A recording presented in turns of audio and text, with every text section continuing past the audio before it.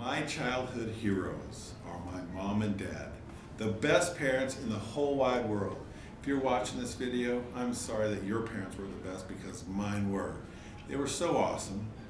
They always celebrated with me when I had some success. They encouraged me when I experienced failure.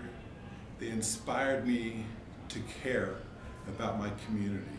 However, I chose to describe community. Uh, whatever that meant to me, it was my responsibility to care and to improve my community's quality of life.